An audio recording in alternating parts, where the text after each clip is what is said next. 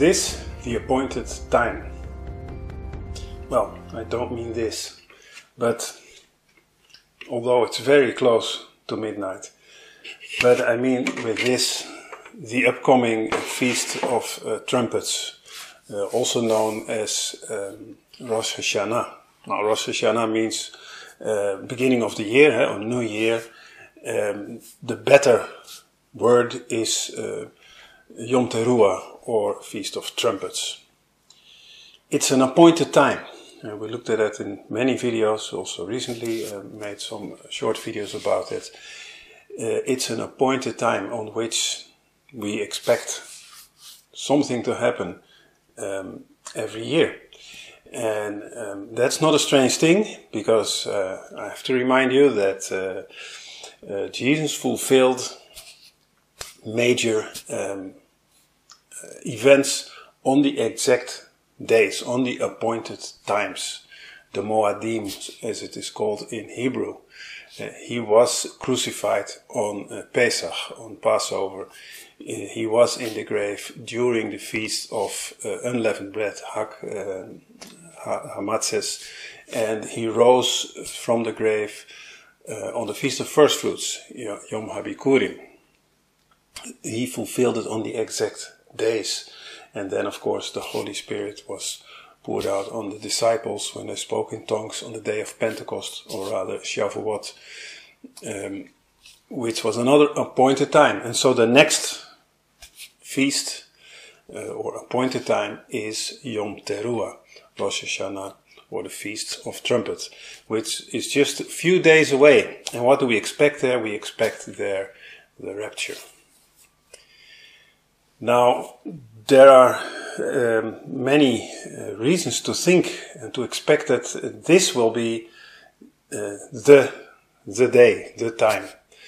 Um, one of the reasons I gave a few videos ago uh, regarding 2030 as the possible year of the uh, the return, the second coming of Jesus Christ, which means that the tribulation is the seven years prior to that, which means it has to start this year, which means as we believe in a pre-tribulation rapture, the rapture has to happen now, this year. So that's one reason. Another reason is uh, the many signs, the signs that um, Jesus himself has given, and of course other um, prophets throughout the Bible um, regarding the end of the age. And uh, we see these signs uh, ramping up and converging uh, at an incredible speed. So many things that um, that we expect to happen, they are happening, and they are happening all at the same time, and they are all increasing. Of course, um, very recent, we had this big earthquake again in Morocco. Uh, um, I say again after the earthquake in, in Turkey in beginning of the year. These are um, really huge um, events. Um, there is this storm uh, in Libya, which is also very strange. Uh, when have you ever heard of that before? And on top of that, the storm is called Daniel, which is the, uh, the judgment of God. Um, but of course, there is the ongoing war, the rumors of war. Um, there uh, are increasing space events, um, meteor impacts, and uh, um, near Earth um, flybys of, of, big meteors. Um, so there's a lot happening around us, um, uh, and also in society. And there is, of course, the, the, the rapid uh, moral decay of uh, every fabric of our society. But we also see that the whole uh, infrastructure that uh, is foretold to be in place during the tribulation period, which we often call the beast system, that this is also um, uh, taking shape, or I would say it's already in place. It just needs to be activated. Um, we see this uh, rapid introduction of digital IDs. Um, they're starting here uh, this month, a few weeks away from now. I think it's 25th of September with the digital ID here in Greece. Um, and I wrote about all these things in uh, my recent newsletter, uh, so I don't want to go into this uh, now in detail. But um, also mention the CBDC, eh, the central bank digital currency, uh, digital euro, the digital dollar. They are ready. They are waiting to be activated. You can say, and there is also um, uh, an all-encompassing uh, world. Um, uh, currency, a digital currency by the Bank of International Settlements that's called the Unicoin. And um, all these things are ready to be rolled out. And especially these, I mentioned these digital ID and digital currencies because this is um, a very important part of the uh, mark of the beast. Uh, it leans on these two things. Um, as we can read in Revelation 13, verse 18. But there's a third component to it, and that has to do with the biology, the impact it has on our biology. So there is more to it uh, in the sense of um, invasive um, technology, nanotechnology, um, but also uh, implanted um, um, devices uh, for interfacing with the outside world um, which the Bible mentions particularly in the right hand and the forehead. Um, the EU has um, approved the Digital Services Act, um, which is a, a, law with which they can um, um, basically censor and control uh, all content on the internet, whether it's on social media or on private websites or corporate websites, and they can uh, then uh, order the uh, owner or even the host to take down this material or entire website. Uh, it's far, far reaching. Uh, but you can imagine if this had been in place during the past few years, um, what would have happened to many channels and uh, outlets and, and, websites. And uh, I'm afraid uh, that the next such uh, event is just around the corner. The UN states then that uh, we need seven years of accelerated transformative action um, to achieve the SDGs, the Sustainable Development Goals. So when you see seven years, the alarm bells go, go off. Of course, it's the seven years from now until 2030. And this, uh, this summit of the UN, it takes place also uh, this month. Um, so again, I speak about these things in the newsletter, also with links um, to the different websites where you can find more information about this. Back to where we are. Is this the appointed time? Um, it could very well be. Uh, in a way, I, I, would say it would it would surprise me if it's not because of of how everything is converging, and it is very hard to imagine that um, things would go on like this for another year or who knows how long. Um, um, Yom Teruah. Uh, Teruah is um, means blast or shout. Eh? We we say Yom Teruah, we call it Feast of Trumpets, but it's actually the, the day of the shout or the day of the blast. Um, Yom Teruah.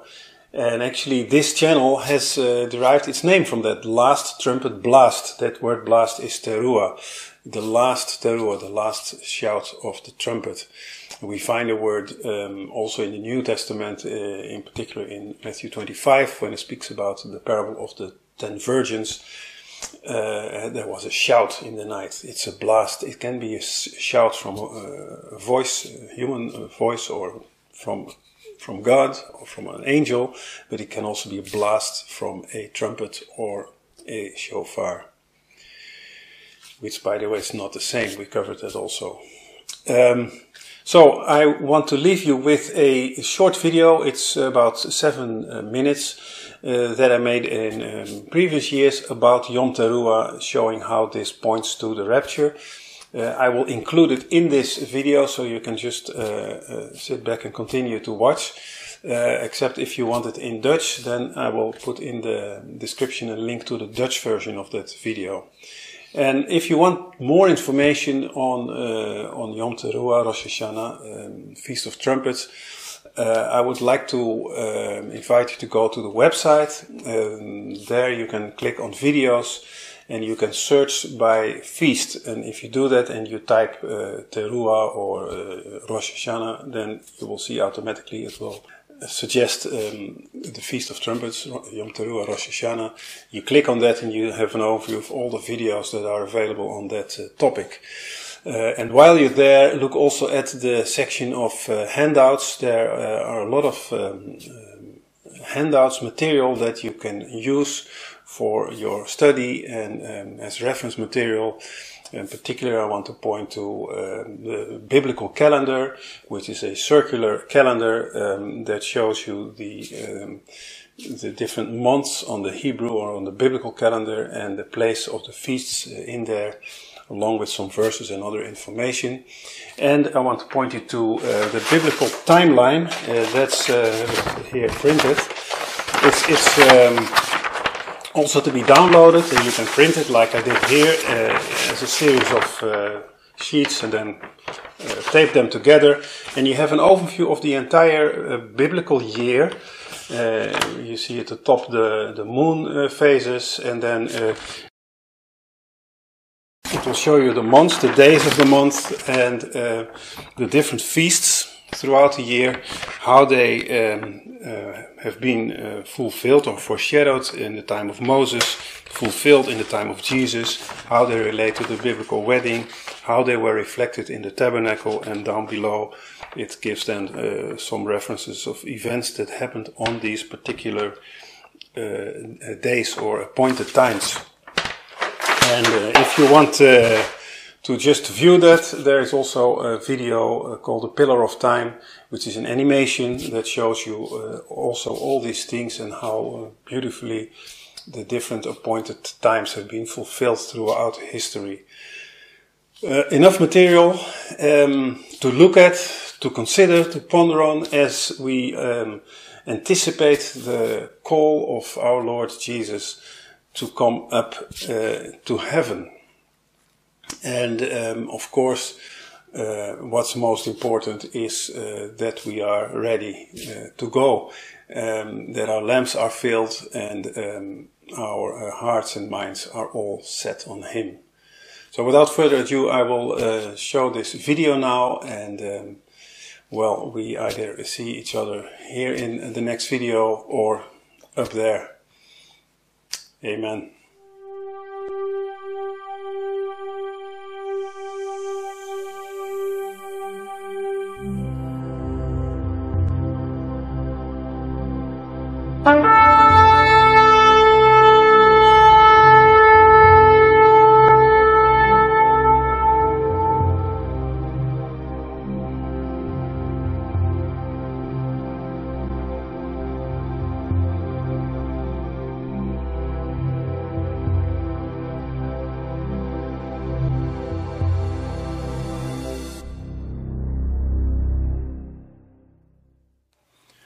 After the long dry summer, Yom Teruah, the Feast of Trumpets, is the first festival to be celebrated in the fall season.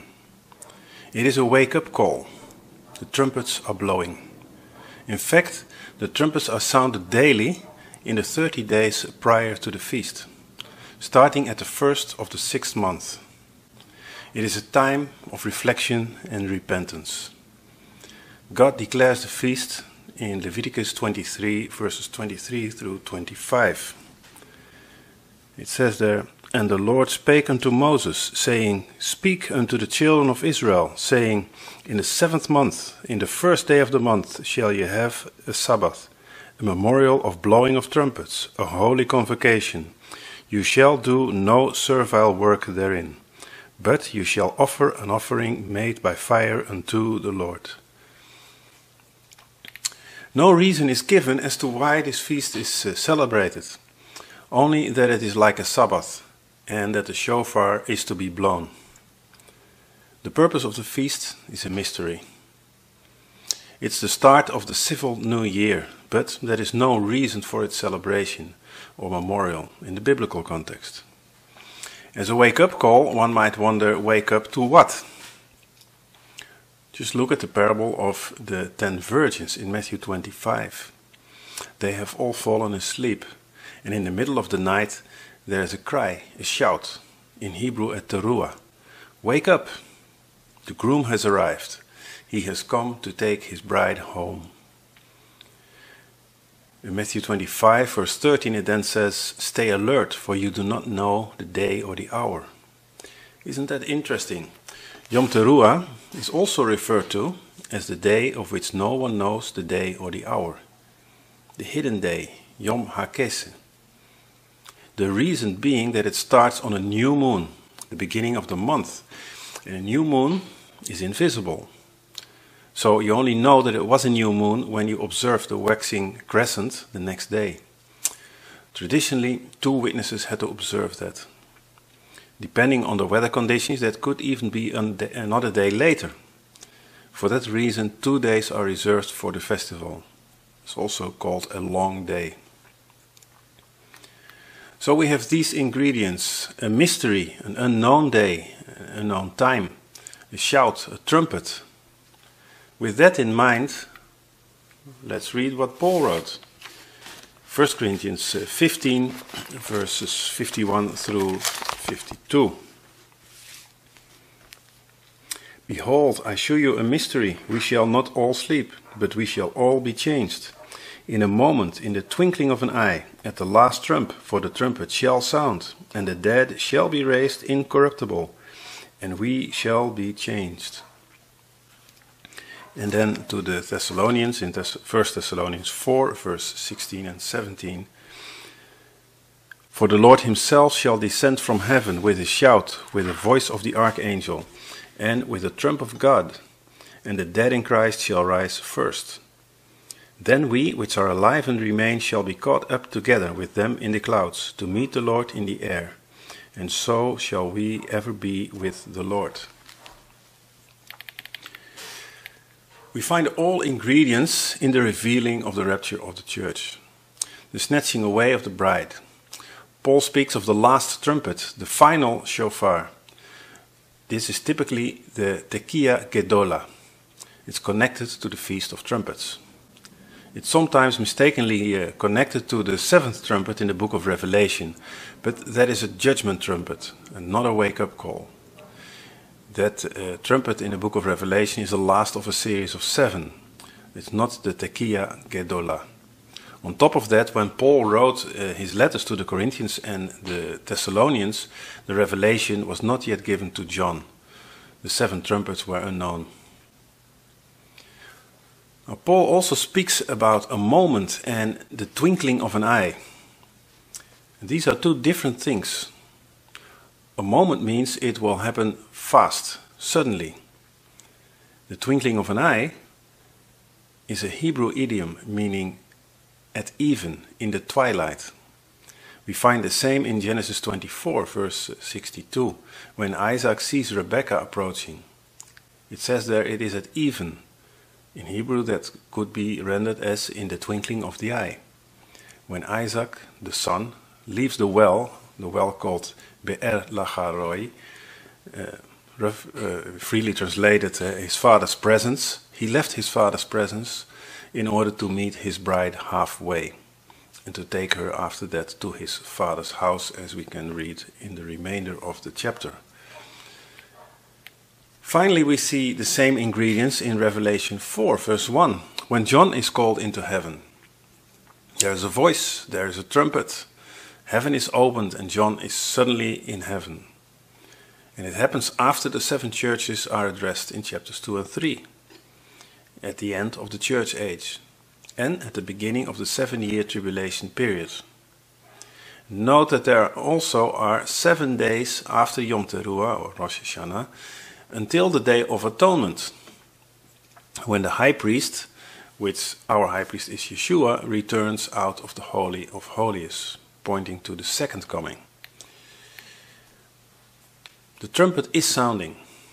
Wake up and have your lamp filled and burning.